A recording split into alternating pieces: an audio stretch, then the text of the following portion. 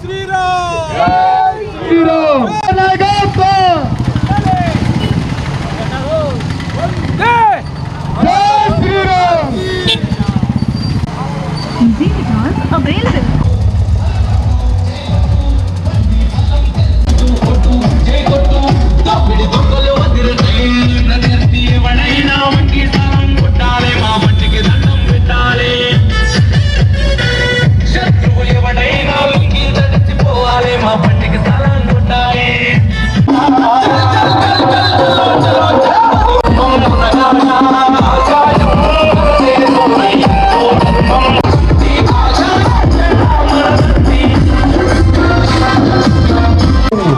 ఒక్క నిమిషం ఆపండి అమ్మ సైడ్ కాకుండా.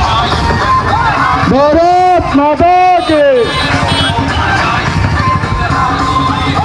బీజేపీ భరోసా పేరుతో రాష్ట్ర నాయకత్వం బండి సంజయ్ గారి సారథ్యంలో వివిధ పార్లమెంట్ నియోజకవర్గాలు శాసనసభ నియోజకవర్గాల్లో జరుగుతున్న యాత్రలో భాగంగా ఈ ఊరు గొల్లపూడి రావడం జరిగింది. మీ అందరికీ నమస్కారం జిల్లా విద్యాశాఖ. బీజేపీ భరోసా పేరుతో ఎనిమిది సంవత్సరాల నుంచి ఈ రాష్ట్రంలో పన్నెండు వందల మంది అమరవీరుల త్యాగం సాక్షిగా ఏర్పడ్డ తెలంగాణ రాష్ట్రంలో అంబేద్కర్ రాజ్యాంగం అమలు జరగాలి.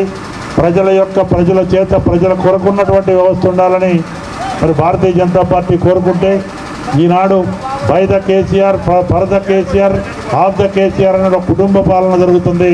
అప్రజాస్వామిక పాలన అవినీతి పాలన ప్రజలకి గాలికి వదిలేసిన పాలన జరుగుతుంది. రైతులకు లోన్లు రావట్లేదు.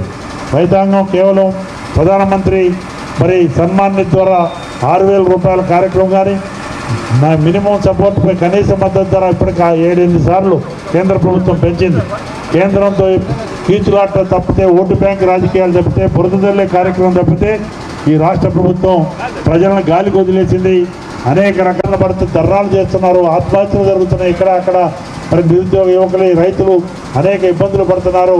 మరి కేవలం అధికార పార్టీ మరి ప్రతిపక్ష పార్టీని అణచివేత ధోరణిలో ముఖ్యమంత్రి గారు సెక్రటరీ సెక్రటేరియట్ లేని పరిపాలన చేస్తూ కాలం వెళ్ళబుచ్చుతూ తక్కుటమార గజకరణ గోకర్ణ విద్యలతో ఈ రాష్ట్ర ప్రజలని అధోగతి పాలించిన అభివృద్ధి పదం వైపు దూసుకుపోతూ ప్రపంచ చిత్రపటంలో భారతావానికి భారత మాతకి మంచి పేరు చేస్తూ ముందుకు పోతుంటే ఇలా కాంగ్రెస్ పార్టీ ముఖ్యంగా టీఆర్ఎస్ తీసుకుంటూ మునుగోడు రాజకీయాల్లో కమ్యూనిస్టులు కూడా చివరికి భారతీయ జనతా పార్టీ బూసి చూపించి